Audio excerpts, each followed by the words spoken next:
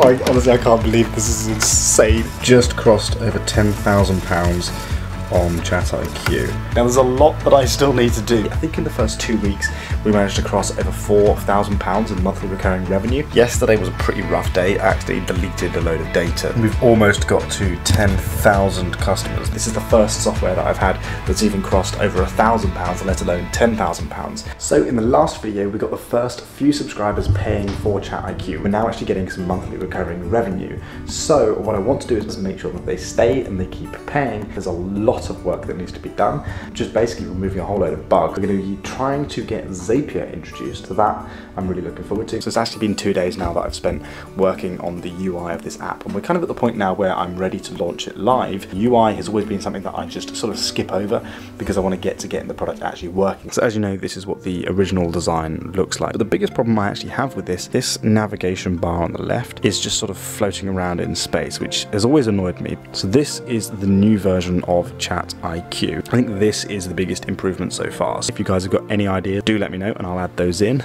Every now and again, I have these slow days where all I'm doing is fixing bugs or implementing a couple of new features that have been requested by my users, which don't typically feel like I'm doing a lot of work or making a lot of progress.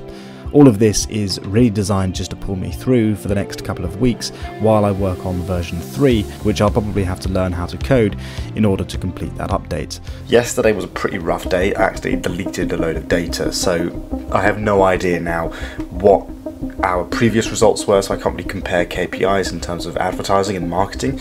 Um, but we've also got an editor now on board who's scaling up our marketing, uh, video editing, and production. So hopefully the next couple of months should be insane. so we're about to try and integrate ChatIQ with Zapier, which is something I've been wanting to do for weeks now, but I just haven't managed to get around to it. I have got no idea what I'm doing. I've got some experience now because I've obviously built ChatIQ to what it is so far, but all of this stuff is quite complicated for me because I'm not a developer. So what I've done, I have a ChatIQ chatbot, which is basically trained on all the documents and everything I need in my business. When you come into ChatIQ and you're training a chatbot, obviously you can keep training it on multiple files. But what's quite cool is in my active training data, I've got all of these lists here.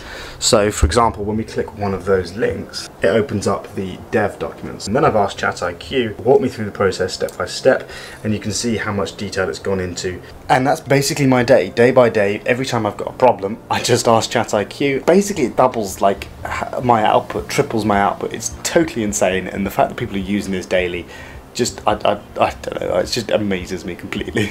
I find it really strange to look back and see how much has changed in literally just eight months. The problems that i faced back then were mountains i didn't think i'd be able to climb but now i could climb those mountains easily. But all the way through this process the one thing that's kept me going is knowing that my users enjoyed using my app and got value out of it. And i've continued to try and make the product better for them and I think that's probably the biggest thing that I've learned from building this software.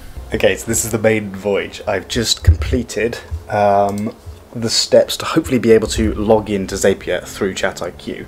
Now, because I'm already logged in, this may already log in straight away. So we have this button here where we can actually sign in to ChatIQ. Uh, when I click it, it then opens a pop-up. Hopefully, it should give me a login page. okay, that didn't work. I don't know why. Okay, let's keep going. I've also realised what the current issue is, uh, why I couldn't actually log into another account. It's because I'm using the test dashboard. Turns out I'd literally just missed some very obvious things, so we're going to give it another go. So we're just going to sign in with ChatIQ. Hopefully this will then load up. Wait, hang on. Did it do it? It's done it! Wait, it did it! It did it! So I just ran a test and it's come back test successful. Uh, and there you go. Awesome. I can't believe it did it. Cool, so we've now got this pop-up. And in the pop-up, there, we've got the We've got the login page. Ah, I, I don't know, I'm overly excited by this, but this is this is so exciting for me. There were quite a few times where even just the smallest success like this in a day would be what kept me motivated and pushed me through, especially when I was developing and building things that I'd never done before and I would constantly hit so many problems. So then obviously if I then come to the sign in page and I try and log in with my normal email and password, there we have it. Easy, job done. It's not that difficult at all. So at the moment we've just integrated Zapier uh, and it should theoretically just create a new message in our database. I'm just going to say test Zapier message. Now, we got a result. We have a result. Now this is the initial first setup of Zapier with ChatIQ and we're actually getting a reply, which is awesome. The only problem is I haven't yet managed to work out how to save the chat history. So for now, we're just going to be able to get the chatbot to respond to a question based off the training data. But this is so cool, I'm so excited about this. But the next step is going to be taking the information in the response from ChatIQ and then sending that back into Slack.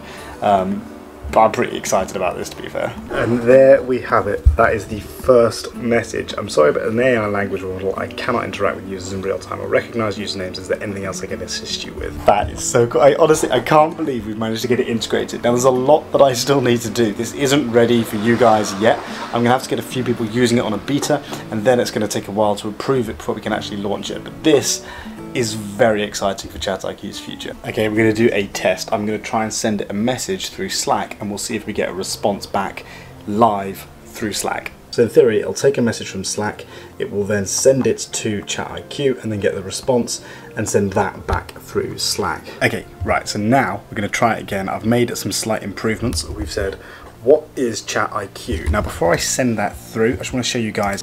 So this is the current version we're running and if we come to the chatbot settings, you can see the active training data.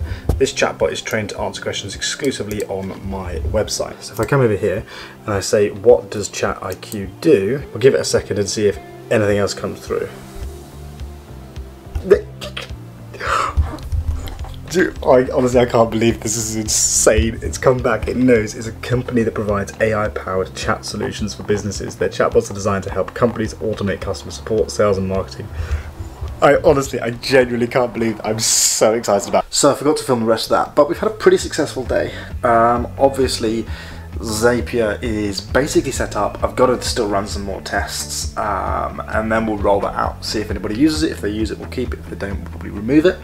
Um, we've been bringing on customers all day, still got people signing up for free trials, so everything's going well at the moment. My biggest concern, however, is obviously churn. So in the next video, we're probably going to be starting to write out the software using code, which is going to require me learning how to code, uh, be using tools like ChatGPT to teach me and maybe try and write some of the code, write various APIs and expand the app like that. So that's probably going to be the next few weeks. And if you haven't watched the rest of the series, go ahead and watch those as well. This is episode three, so there's two more before this one. Don't forget to leave a like and subscribe down below. But I will see you guys in my next video.